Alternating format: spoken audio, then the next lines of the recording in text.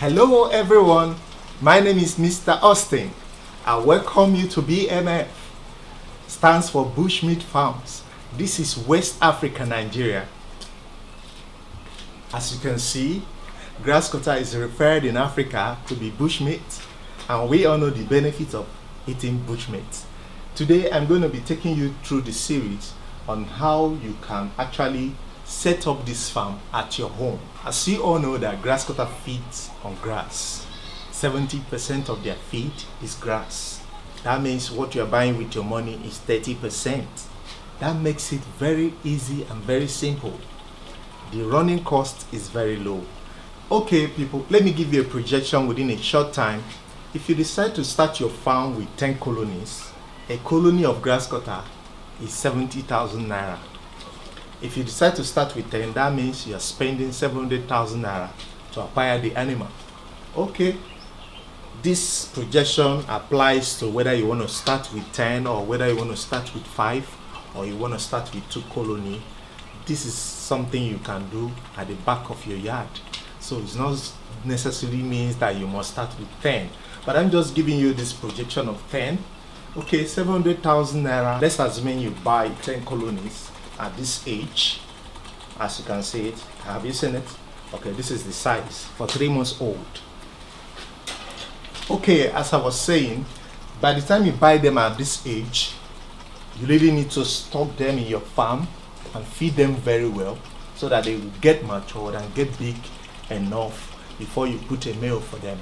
You cross them at age of six months, that means in your farm they have stayed extra three months. And let me tell you, by the time you cross them, it takes them five months to go through the gestation period. And let me tell you that grass cutter have their baby in their belly for five months.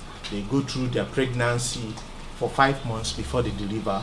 And at the end of that five months, plus the three months you stock them in your farm to get them matured, that gives you eight months. At the end of that eight months, your 10 colony will deliver.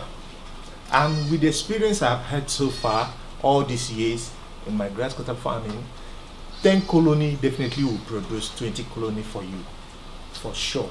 That one is guaranteed that at least 20 colony and other male that will be left behind.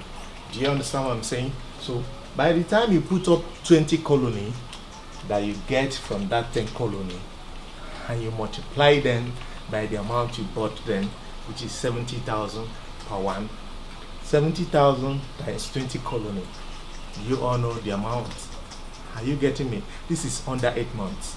And it's expected that you give them some time to breastfeed the animal and then you cross them again at 10th month of that year which is October beginning. They give birth probably in August. You allow them to breastfeed until October 1st week. You cross them again. And let me tell you, this time around, you are not waiting anymore. Within five months again from that October 1st, that means by February ending again, your 10 colony again will produce another 20 colonies for you. You can do the multiplication yourself. By the time you times the 20 colony again, times 70,000 each, you know how much it is?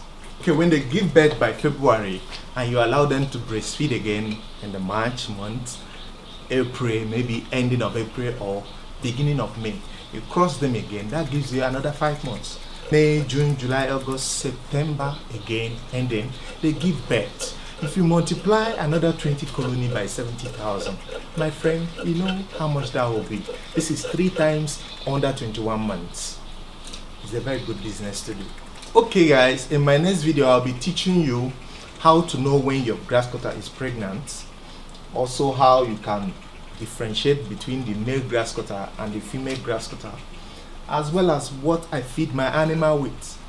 Okay, I will also be telling you how you can go about producing this house for them making this concrete house for them so that it will last I advise you not to invest in iron cage because you will definitely lose those iron cage. So this is the best housing for grass cutter as I speak to you with experience. Okay, right now I will be signing out.